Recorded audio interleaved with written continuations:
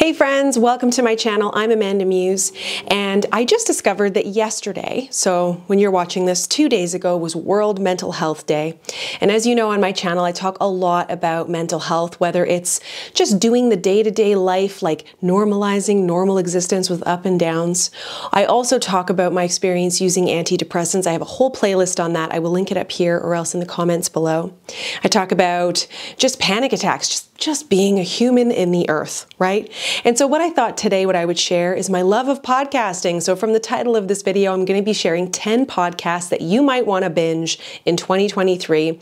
I've noticed that probably for the last five or six years, I've shared at least one video a year with some of my favorite podcasts of that season. And I thought I haven't done one this year, so I'm coming at you with it. I'm to chit chat here for a minute, so check the timestamps below if you want to skip right ahead to number one. You're not interested in this chit chat, no problem. I'm not offended. Just head on over there.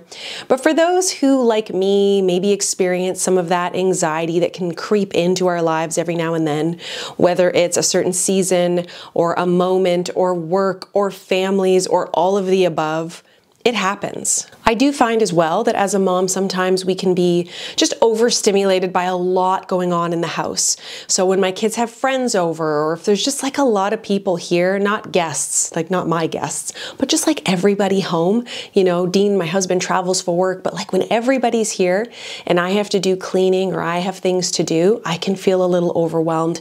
It seems to just really calm me down and just it like tames my energy. So that works for me. It may work for you. A couple of things that I really love. I don't have them in my pockets, but I actually have two sets of AirPods, two different generations. Uh, I love them. And the second thing I typically use is my iPhone. And there are a lot of different podcast players, but I found that even though I pay for Spotify, I love Apple Podcasts. It's just what I like to use. I like my library. It just seems to work for me. So those are the items that I use to listen to podcasting. You can also attach your Bluetooth to your car. I listen to them when I go on long long drives. It's just less of a commitment in terms of something audio. I know audio doesn't work for everybody, but like listening to an audiobook for me is quite the undertaking, is really quite a commitment. Where podcasting, it's like bite size. Well, enough chatter. Let's move on to my 10 podcasts as I open my iPad to get to my list. I will say that, like I said, I have many videos since like I think 2018 where I at least have one annual video where I share my top 10 favorite podcasts. And I was trying to make sure that I did not have repeats. However, what I wanted to do was be honest about some podcasts that I'm still listening to all of these years later. So I am going to filter some of those in. Um, but some of these may be new to you. All of them may be new to you. And I do want to say if you have favorite podcasts, please list them below. The first one I have definitely mentioned before, but it's Dateline. Coming back to my point about why I listen to podcasting, oftentimes it's to kind of regulate my energy, to bring my anxiety down, and Dateline just hits all of those boxes. They always catch the bad guy in the end, like 99% of the time. You have a resolution to the story. It seems to follow a similar pattern. Their voices are very comforting to me. They're like the right length you know, 45 minutes to an hour and a half as I'm cleaning the house and doing laundry. It takes me through that super boring task. And they don't go into too much gory details about the crime story. They touch a little bit on the victim, they talk about the perpetrator, there's storyline. It's not just like gore and drama, because I'm just not into that. It's a solid contender, and I've listened to it for years. And honestly, if you were to look into my podcast right now, I am up to date. Like, I've listened to all of them. I need them to come out more frequently, honestly. Number two is a podcast called Happier with Gretchen Rubin. Now, she's written a few books. She is an author, and this podcast she hosts with her sister. I love their dynamic, and I just love the flow of the show. They drop these little tidbits, these little nuggets about, you know, self awareness, self development. It's a little bit of self help style, but not so in your face and pushy. I do notice that I have these rebel tendencies, which, P.S., if you've listened to Gretchen Rubin, you'll know what I mean She has this really interesting personality test. Uh, check out the podcast, check out her links. It's fascinating. Um, and so I've learned a lot about myself by listening to her but she helps you with your personality type figure out little things and little hacks that will work for your life. And I actually find I put a lot of them into practice. So it's just enough that it's not preachy. It's entertaining. They have great guests. Their banter is hilarious. I quite like it. My third show has been a real favorite of mine for many years. A friend of mine recommended this years ago, and it's called Crime Junkie. They are two friends, and the dynamic is that one of them tells a story and the other one is commentary, and they're childhood friends. And what's been so fascinating over the years as I've continued to listen to the show is that they have grown and developed so much as their audience has. So they have far more funding, far more Patreon followers, and they've actually been able to take the money that they've earned and generate and apply it to help solve cold cases, which is fascinating. The one thing I will mention is that unlike Dateline, a lot of these stories do not have that comforting resolution. And that can be a little like, it leaves you hanging. You know what I mean? However, as they tell these cold cases, because coming back to this is one of their main focuses, is like, how can we solve some of these cold cases, which, by the way, have a lot to do with minorities, women, stories that maybe wouldn't get the right amount of airtime, they are bringing them to the surface and shedding light on them, which is fascinating. And they also do follow ups. So I'm part of their Patreon, one of the tiers, and occasionally there'll be updates on cases, shows they did last year that all of a sudden they found the killer. And it's just fascinating what they've been able to do. And also just really fun from a business perspective, seeing someone in this industry really grow and develop and like kick ass female energy. You know what I mean? So I really love supporting that duo. Okay, so those are three that I have mentioned in the past. This next one is a new show to me, and it's called Wiser Than Me with Julia Louis Dreyfus. You may recognize that name. She was a main character in Seinfeld. And this podcast, I just was so excited when I learned about it. Basically, from what I understand, is that Julia was watching, Julia, like we go way back, Anyway, she was watching a documentary, I think it was on Jane Fonda, and she was just commenting like how inspiring Jane Fonda is. And even as she gets older and ages in an industry that wants women to disappear, she continues to shine bright, share her story, and just be freaking phenomenal. And as she started to let this idea percolate, like, where are all these incredible women going? Like there are so many women that have been around in industry, whether they're writers, activists, fashion designers, actors, you know, let's talk about them, let's celebrate them. And so she has women come on her show that are wiser than her. They typically tend to be a little older. And I am obsessed with older people. I'm obsessed with the idea that we celebrate people as they age instead of hiding them away. People have so much to offer as they age. They've been around a long time. Let's lean into some of that experience. Let them share that wisdom with us. And so it just checks all sorts of boxes for me. I'm also a huge fan of celebrating women. It's like fundamentally part of who I am to celebrate women and their stories. And so this podcast is like, oh my God, I love it so much. I wish I could be in a room with these women. I love the questions at the end when she's like, you know, what would you tell a younger version of yourself? What would you tell 20 year old you? It's just wonderful. I love, love, love that kind of storytelling. Okay, so this next story comes with a trigger warning. It is called The Retrievals. Now, I don't want to give you too much information about it, but I will say it's a five part series, and I'm pretty sure it was produced by Serial. So, if you're a podcasting fan, like Serial was like the OG podcast that took over all of our lives a couple years ago.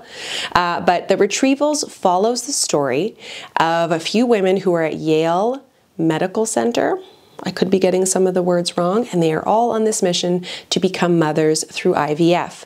And there's something that happens, and it's a true story. But like I said, big trigger warning for medical malpractice when it comes to women.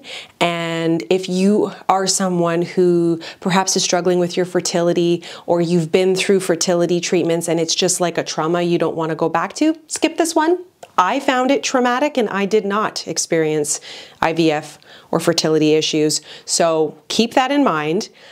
It will make you so mad. You may come back here and be like, damn it. You know, like that was triggering just because, oh my God, women need to be believed in the medical field. So you've been warned, but it'll blow your mind. We're going to switch gears. This one's going to make you feel real good. So this next show is called How We Live Now by Katherine May. Katherine May is the author of a few books, and one of them is potentially one of my most favorite books called Wintering. I listened to the audiobook version. It was like a warm hug on a chilly day. You're sitting by a fire, you hear the crackle of the wood, you have like a little London fog, one of my favorite hot drinks, sitting beside you, curled up with a cozy book and a dog or a cat, your preferred animal.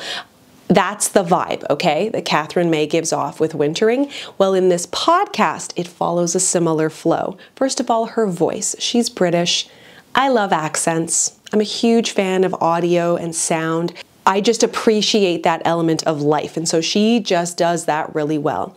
Even her intros, there's this beautiful immersive feeling with how she introduces each episode. She's often outside. Sometimes you'll hear the crunching of leaves under her feet, depending on what time of year it is, or the, you know, the slam of a, not a loud one, but like the closing of a screen door. And it's so good. Like, I love people who take the time to make that sound good. It feels very artsy, very folk like. The conversations are very much like those soft conversations, and I really enjoy it. So, worth checking out.